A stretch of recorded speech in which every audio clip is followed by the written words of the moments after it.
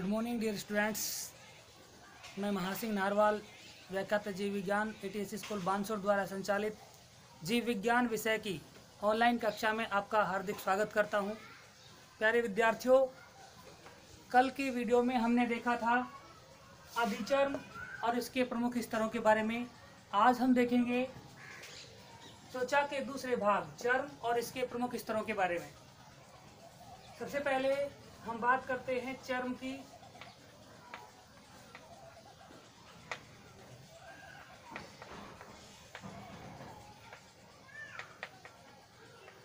जो चर्म है, यह आप जानते हैं कि त्वचा का दूसरा भाग है।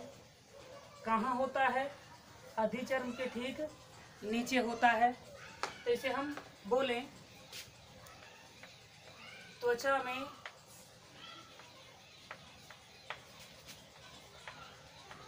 अधिचर्म।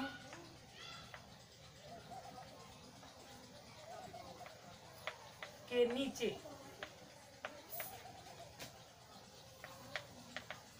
स्थित। भाग को चर्म कहते हैं।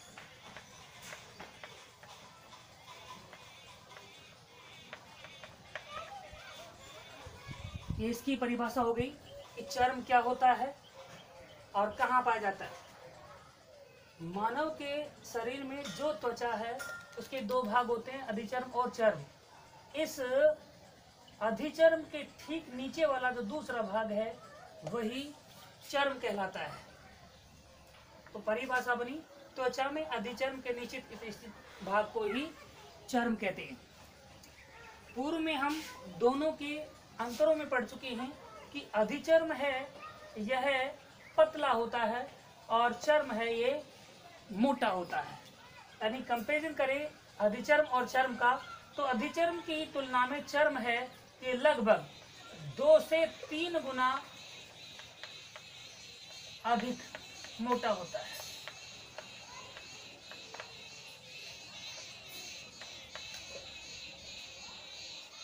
अच्छा जी, उसके बाद हम बात करते हैं आगे कि चर्म के स्तरों के बारे में।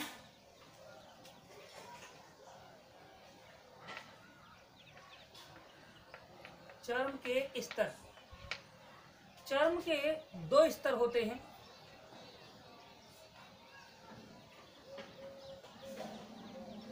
पहला स्तर कहलाता है पैपिलरी स्तर। और दूसरा स्तर है, वह कहलाता है जालिका स्तर। चर्म के दो स्तर होते हैं, अधिचर्म के पाँच स्तर होते हैं। यहाँ अधिचर्म के स्तरों को हमने कल पढ़ लिया था। आज हम चर्म के स्तरों के बारे में देखेंगे। नाम अपन देख चुके हैं, पैपिलरी और जालिका स्तर। इनका पोजीशन कहाँ होता है? ये कल हमने कुछ हद तक चित्र में समझा था। त्वचा के चर्म और अधिचर्म वाले भाग की अनुप्रस्थ काट अपन देखें तो उसमें हम यदि देखें तो आप समझ सकते हैं कि जैसे ये मान लीजिए अधिचर्म हो गया ऊपर वाला भाग।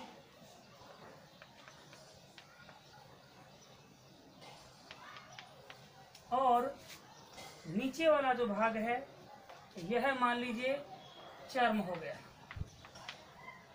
तो आप देख रहे हैं कि यहाँ से लेकर यहाँ तक ये अधिचर्म और यहाँ से लेकर यहाँ तक ये चर्म। तो ये चर्म वाला भाग है, अधिचर्म के नीचे होता है।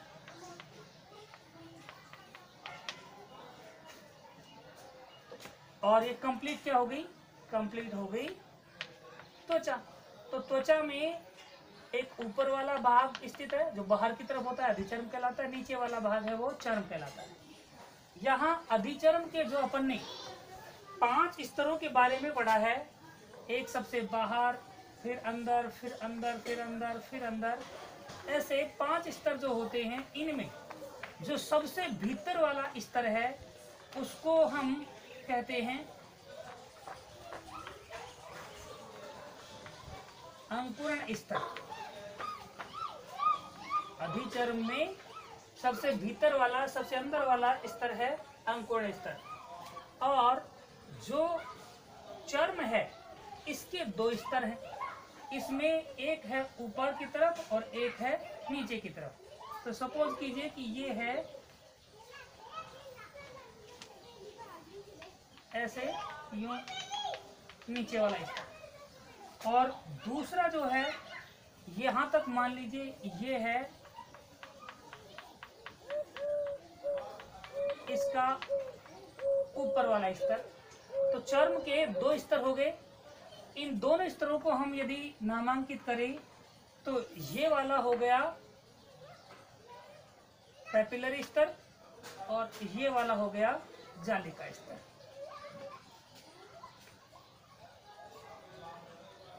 चर्म का ये वाला पैपिलरी स्तर और नीचे वाला हो गया जालिका स्तर। तो आप दोनों में देख रहे हैं कि जो जालिका स्तर है, ये नीचे है और पैपिलर स्तर है, ये ऊपर है। तो यहाँ मैं लिख देता हूँ, हो गया ये पैपिलरी स्तर और नीचे वाला हो गया ये जाली का स्तर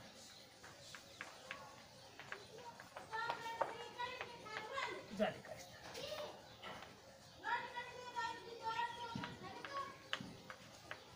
अब इन दोनों स्तरों के बारे में हम थोड़ा डिटेल देखें। तो पहला स्तर ले लेते हैं। पैपिलरी स्तर।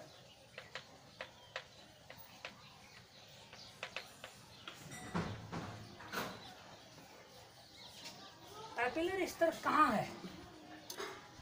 सिचुएशन देखिए। अधिचर्म के अंकुरण स्तर के नीचे है। अधिचर्म के अंकुर स्तर के तो नीचे है और चर्म के जालिका स्तर के ये ऊपर है। तो हम बोल सकते हैं, त्वचा में अधिचर्म के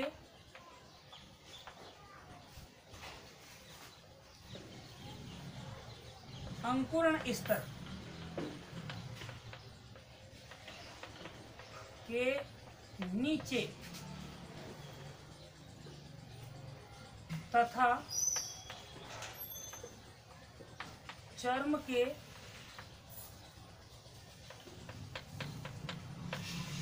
जालिका स्तर के ऊपर वाले भाग को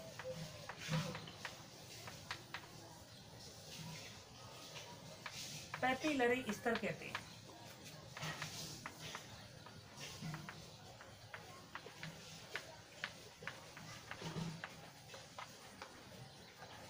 यहाँ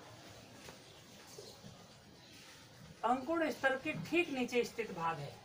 चर्म का, ऐसे बोल सकते हैं कि चर्म का अंकुर स्तर से ठीक नीचे वाला भाग पैपिलरी स्तर कहलाता है।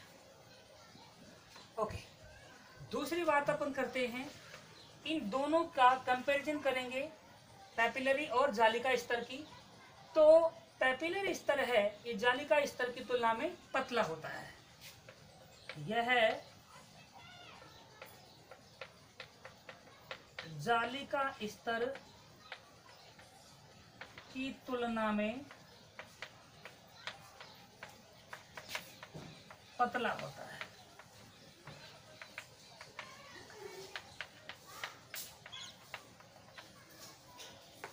डियर स्टूडेंट्स इसे रटना नहीं है, इसे सीधा समझना है। पहले हमें इसकी पोजीशन बतानी है। दूसरे नंबर पे दोनों स्तरों का कंपैरिजन करना है कि कौन पतला है, कौन मोटा है। तीसरे नंबर पे ये देखना है कि इसमें क्या क्या भाग पाए जाते हैं। तो इसका पोजीशन आप देख चुके हैं। पैपिलर स्तर की, कि यह अधिचरम के अंकुर स्तर के ठीक नीचे पाया जाता है। दूसरा अपन करें तो चरम में ही बात करें तो चर्म में जालिका स्तर के ठीक ऊपर वाला भाग है, वो पैपिलर स्तर होता है। तो ये पोजिशन हो गई। नंबर टू दोनों की तुम तुलना करते हैं तो कौन मोटा है, कौन पतला है? तो जाली का स्तर पतला मोटा है पैपिलरी स्तर पतला है। किससे? पैपिलरी स्तर जाली का स्तर की तुलना में पतला होता है। ये बात भी होगी। तीसरे नंबर पर अपन देखें तो इसमें कौन कौन से भाग पाए जाते हैं? इसके अंदर मुख्य रूप से आप देखेंगे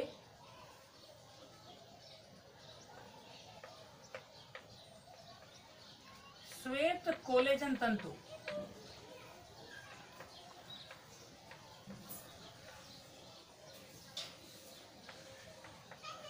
श्वेत कोलेजन तंतु, पीले लचीले तंतु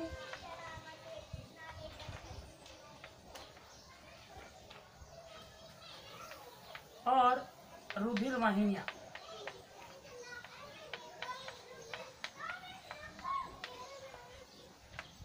हाँ, ये चीज़ें इसमें पाई जाती हैं। चर्म के पैपिलर स्तर में श्वेत रंग के कोलेजन तंतु और पीले लचीले तंतु तथा रुधिर वाहिनियाँ उपस्थित होती हैं। इसके बाद हम ये देखेंगे कि जो जाली का स्तर है, यह है कहाँ पाया जाता है और इसमें कौन कौन सी चीज़ें होती हैं ये इसकी तुलना में कैसा होता है। यहाँ जाली का स्तर जो है, आप देख रहे हैं कि चर्म में पैपिलर स्तर के ठीक नीचे है।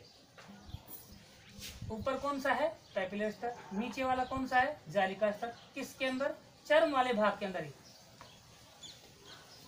या सीधे बोलें तो कंप्लीट त्वचा है तो संपूर्ण त्वचा में सबसे निचले वाले स्तर को ही अपन जाली का स्तर कहते, कहते हैं। तो आप कैसे भी उसे परिभाषित कर सकते हैं। यहाँ जाली का स्तर की बात कर रहे हैं। किसका है? स्तर यह है चर्म में। चर्म के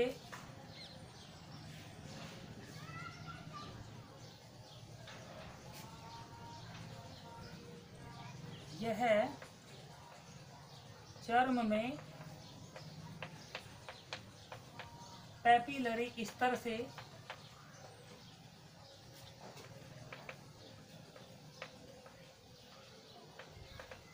नीचे पाया जाता है।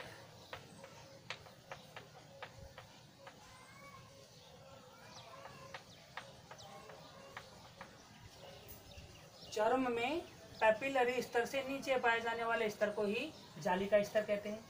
तो इसमें परिभाषा बन गई। चर्म में पैपिलर स्तर से नीचे वाले स्तर को ही जाली का स्तर कहते हैं। दूसरे स्तर में हमने क्या देखा? पहले पॉइंट में हम बताते हैं उसकी पोजीशन उसकी स्थिति कि ये कहाँ स्थित है, किसके ऊपर, किसके नीचे है। दूसरे नंबर में हम यहाँ पर याद रखने के लिए अपनी तरफ़ से लिख देते हैं, मोटाई, कि यह मोटा है या पतला है? दूसरी बात, किससे पतला है और किससे मोटा है? तो हम यहाँ पर इन दोनों का ही कंपैरिजन कर रहे हैं पैपिलरी और जाली का स्तर की तो हम बोलेंगे, यह है पैपिलरी स्तर से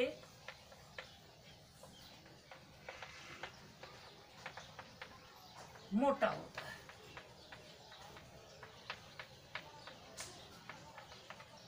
तो ये मोटा हो गया। नेक्स्ट बात देखते हैं कि इसमें कौन कौन सी चीज़ें उपस्थित होती है, पाई जाती है। तो उपस्थिति की बात करते हैं कि इसमें कौन कौन सी चीज़ें पाई जाती हैं। इसके अंदर आप देखेंगे कि त्वचीय ग्रंथियाँ पाई जाती हैं। जिनके बारे में हम आगे आगे पढ़ेंगे। इसके अलावा इसमें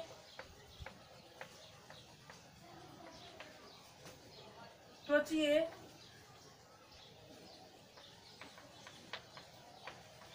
संवेदांग पाए जाते हैं। रोम कांड इसमें होता है। तंत्रिकाएँ इसमें पाई जाती हैं।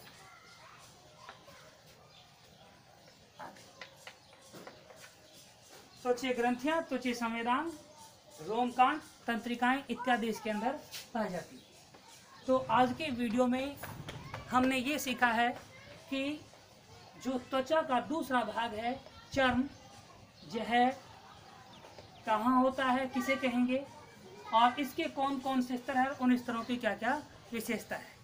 थैंक यू इसके बाद आगे नेक्स्ट वीडियो में।